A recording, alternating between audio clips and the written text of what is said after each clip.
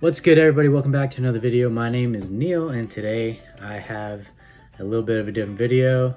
I'm currently on my last day of uh, quarantine, so tomorrow I'm free. I can go out and train, I can get out of this room and whatnot.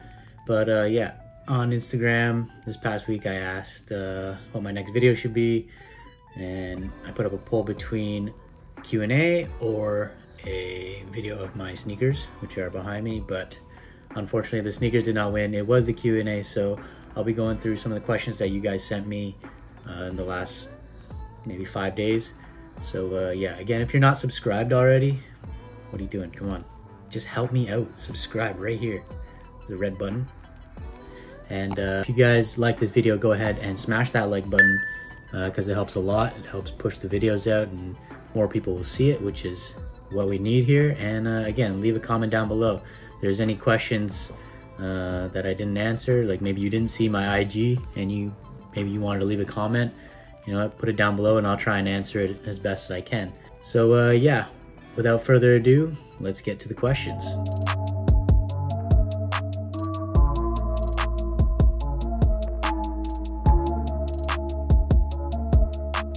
All right, so the first question uh, we have here is from Selena Piek, uh, fellow badminton player. Who is your favorite Dutch badminton player? Oh, well, uh, I mean, I'm gonna have to go with uh, Selena Piek since, uh, you know, she's clearly following and she left a question in the question box. So I appreciate you, Selena, Robin. I know we had some good times in Warzone in the bubble, but uh, yeah, I guess Selena's taking this one home. So I'm gonna go with Selena Piek as my favorite Dutch badminton player. Okay, so the next question we have here is from the man, the myth, the legend, HK Vittinghus.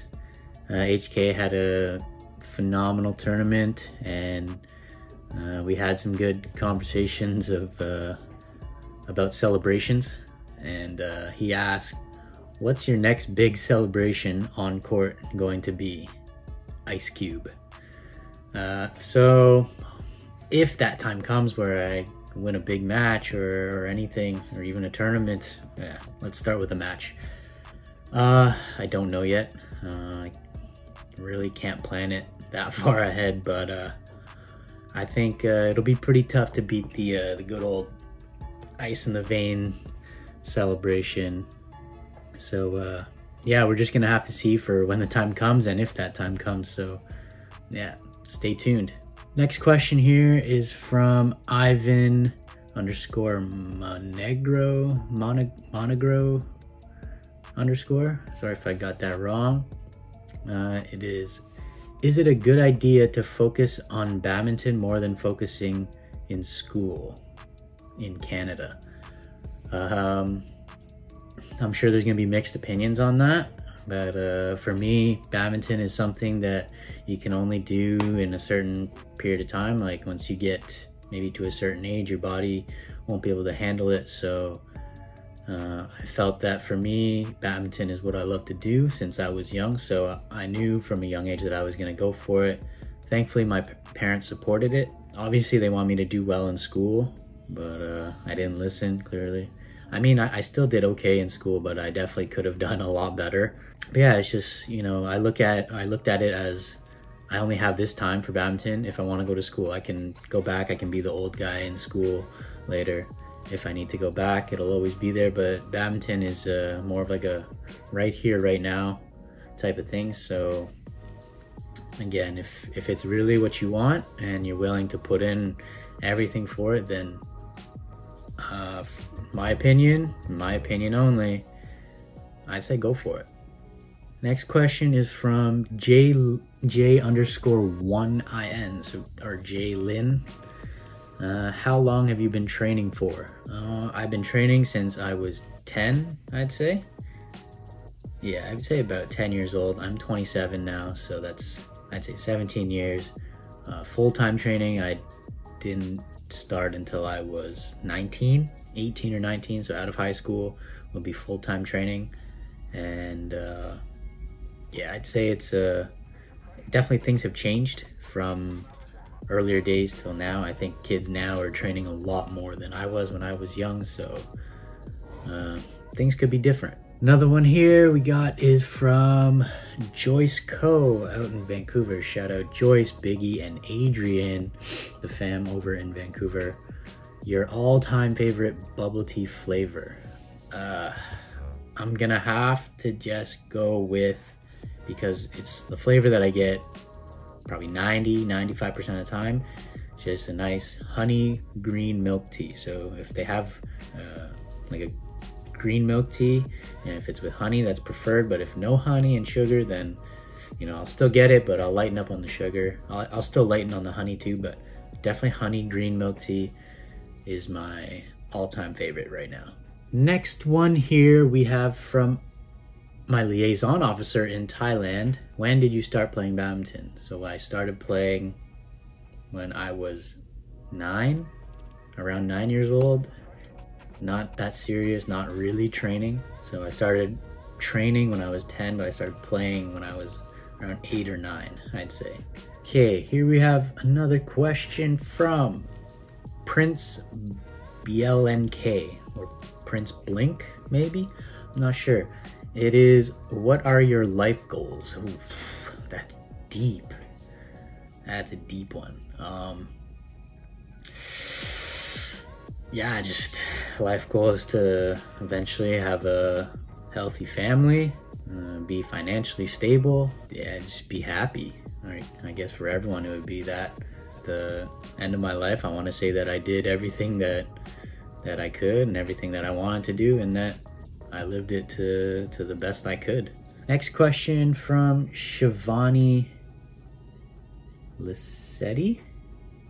Dot Lissetti 0163. How have you motivated yourself to improve in badminton over time? Uh, I'd say just being from from Canada, we're not known as a very strong country, although I think over time and right now we've slowly developed and we've been able to kind of put ourselves on the map. We've been able to compete with some of the some of the rest of the world. So it's just always you know looking at ourselves as an underdog uh, always knowing that if you're not number one then there's definitely always something to improve on. Even if you are number one you have to you know you have to stay at the top shape you have to still get better so that you know you don't want anyone else to catch up to you. For me personally it's just thinking like i'm always i always have something to improve on because i'm not the best. I'm clearly not the best. So uh, yeah that's how i look at it. Next one from arif gifar. Shout out to gifar. Uh, when you gonna marry? Oof. Yeah can't give you an answer on that one but can't give you an answer. I don't even have a girlfriend, dude. Come on.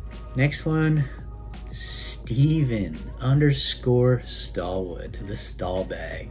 Shout out to the UK homies over there. Uh, you'd quit badminton to become a full-time COD streamer if you earned enough. Uh, I'm assuming that's a, an assumption because I asked for questions and assumptions about me, and uh, you assumed right. Uh, if I were to choose right now, and I could make. Actually, I wouldn't quit badminton. I probably wouldn't quit badminton because I, I don't think I can sit here and play that long. My hips get so tired from sitting here for too long. But uh, I would definitely take up being a COD streamer if I was earning like like bank. I mean, like if I could just like live off that, Next one is another assumption from TYC Badminton. Wow. It says, you're tall in height. Okay. No comment. Just kidding. Uh, I'm not.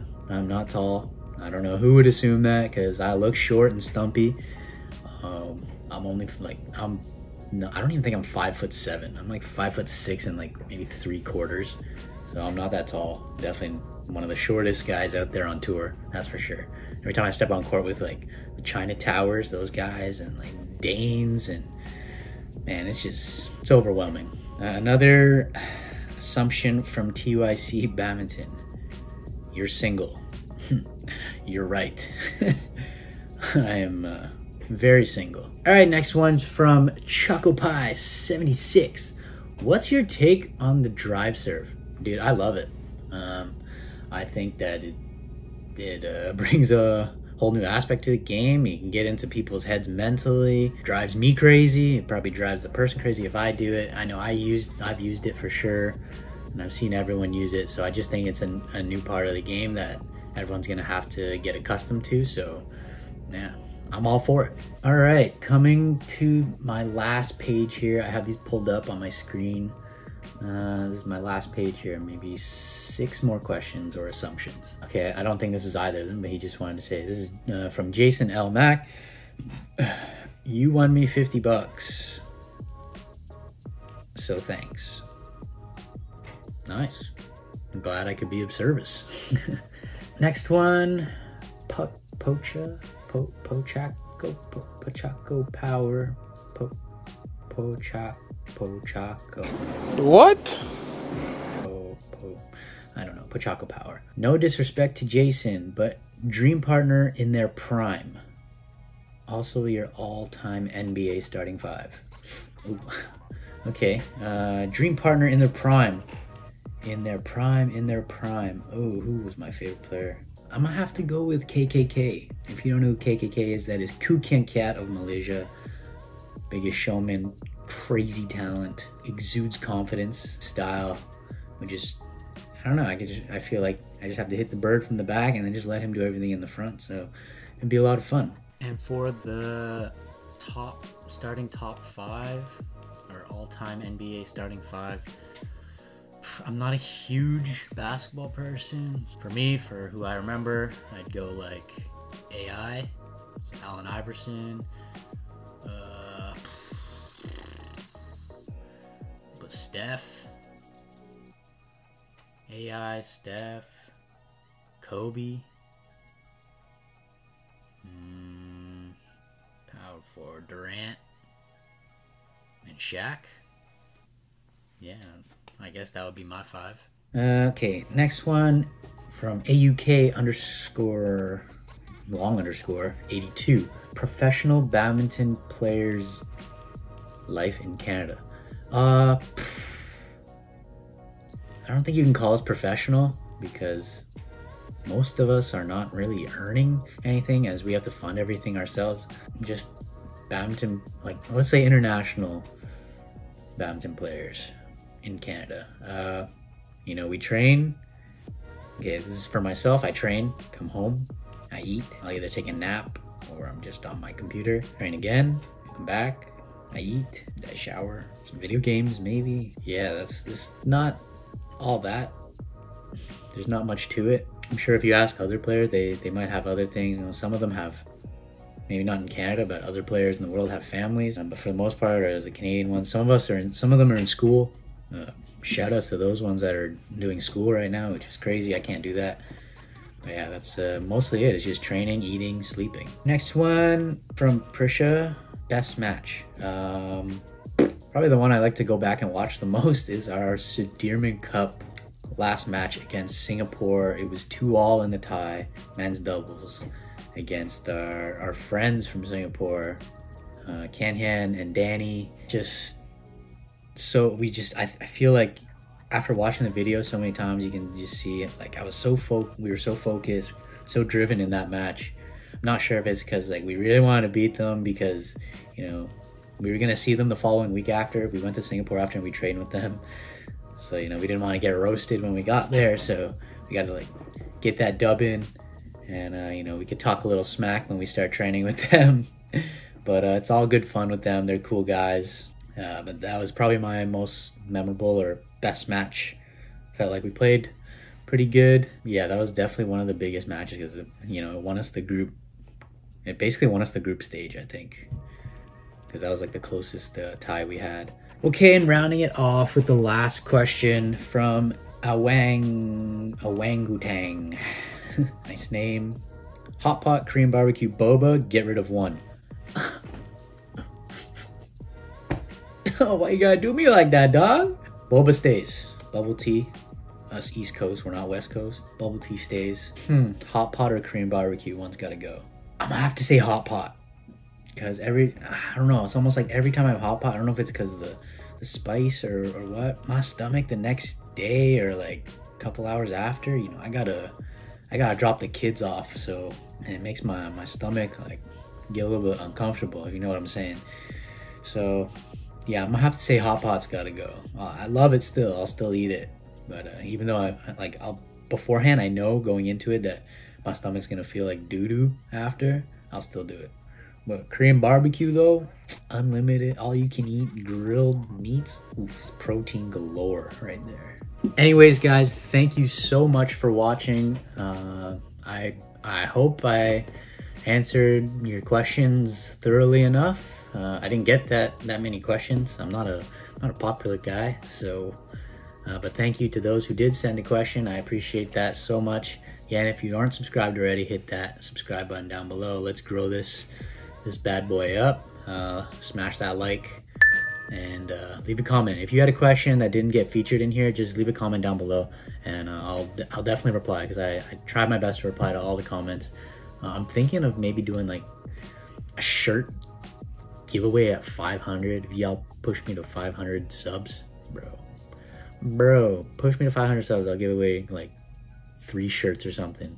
Might be hard if you're like international, but definitely if you're in Canada, I can definitely hook that up. So yeah, again, thank you so much for watching. Have a great rest of your day. Stay safe, stay healthy, and I'll see you guys in the next one. Peace.